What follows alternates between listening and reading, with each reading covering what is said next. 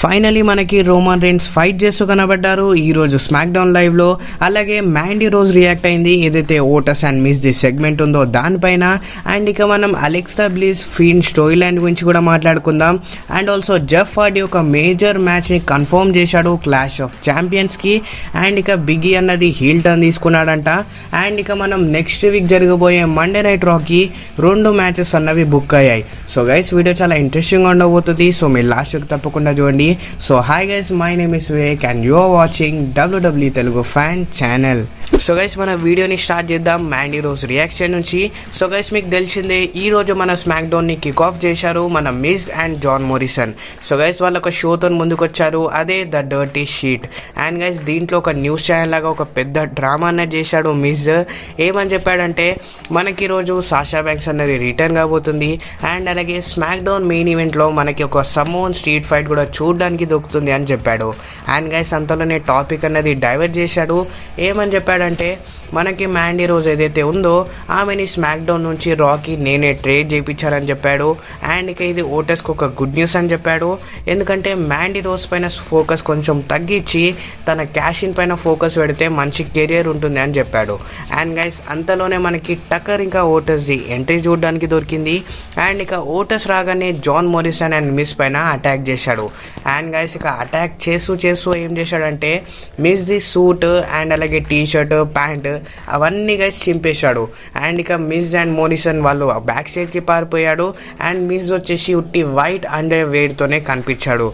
And guys దీనిపైన మనకి మ్యాండీ rose అన్నది ట్విట్టర్లో కమెంట్ అనేది చేసింది అంటే వెక్కిరిచ్చింది. ఏమని చెప్పిందంటే నీ వైట్ అండర్వేర్ బాగుంది అని చెప్పి ఇలా వెక్కిరిచ్చింది. అండ్ గైస్ ఇక మనం స్టోరీ లైన్ గురించి మాట్లాడుకుంటే ఆనెస్ట్లీ చెప్పాలంటే గైస్ డబ్ల్యూడబ్ల్యూ ఒక మంచి స్టోరీ లైన్ని డిజైన్ చేసింది.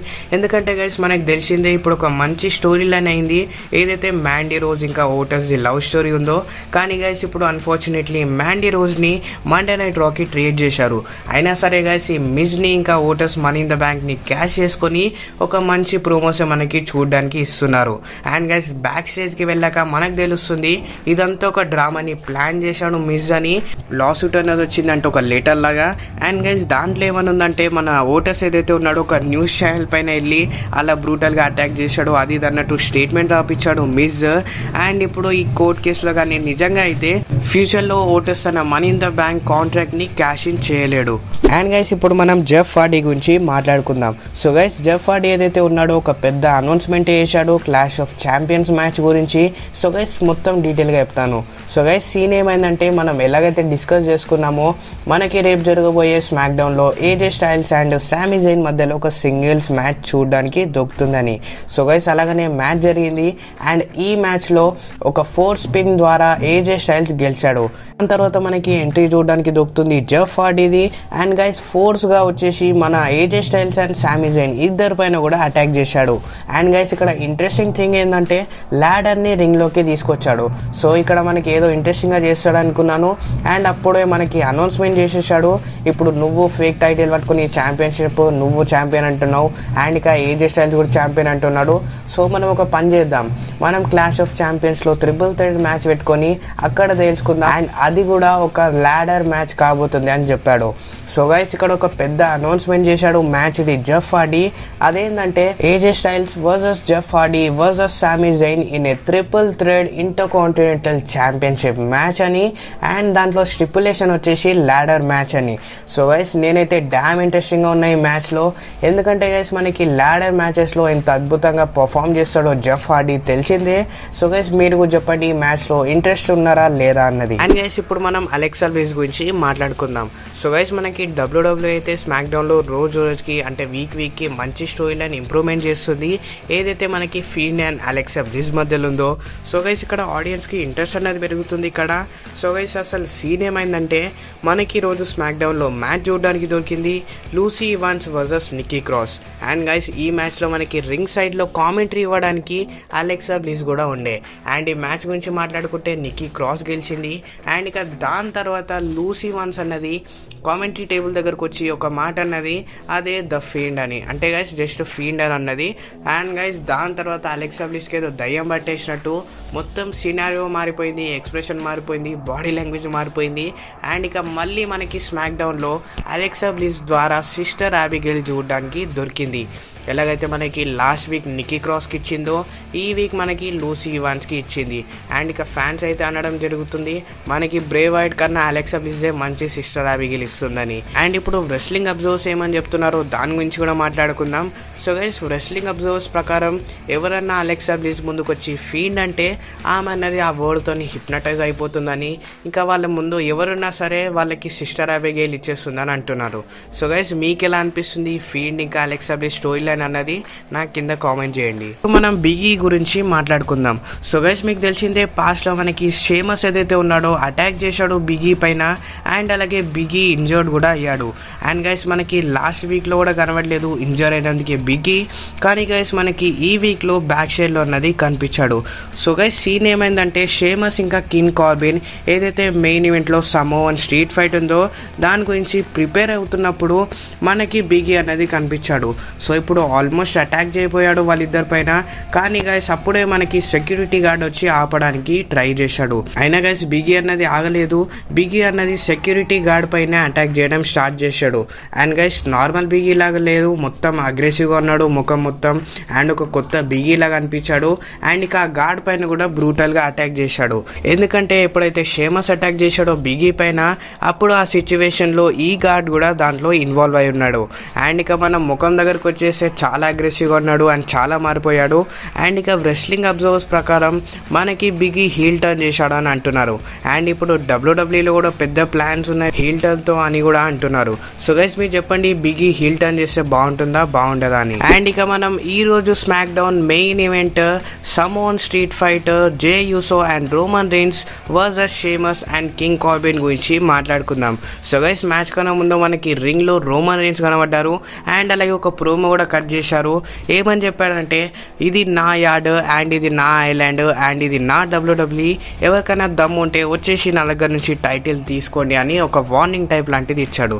సో గైస్ ఇక్కడ అందరు కన్ఫ్యూజ్ అవుతున్న థింగ్ ఏంటంటే రోమన్ రేంజ్ లోపల కొంచెం చేంజ్ అన్నది వచ్చింది. అండ్ ఏంటంటే ఒకటి మాత్రం కన్ఫర్మ్ అయింది. ఏదైతే మనకి ఇంతకు ముందు రోమన్ రేంజ్ ఏదైతే అది వెస్ట్ వేసుకొని కనబడుతుండేనో మ్యాచెస్లో అది ఇలా ఫ్యూచర్ మ్యాచెస్లో కనబడదు. అది టీ షర్ట్ లాంటిదే అదే వేసుకొని మనకి క్లాష్ ఆఫ్ ఛాంపియన్స్లో కానివ్వండి ఇంకా నెక్స్ట్ మ్యాచెస్లో కనిపిస్తాడు. సో గైస్ ఇప్పుడు మనకి గేర్ అయితే అప్డేట్ విషయం తెలిసిపోయింది. అండ్ ఇక ప్రోమోలో మాట్లాడుకుంటే guys this is my yard అని కూడా అన్నాడు.